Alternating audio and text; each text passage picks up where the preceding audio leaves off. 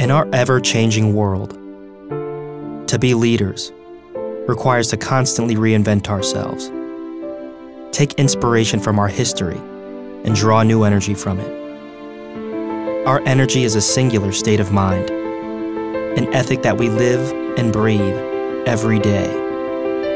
It gives us the passion to challenge with innovative, smart ideas in a caring, sustainable way.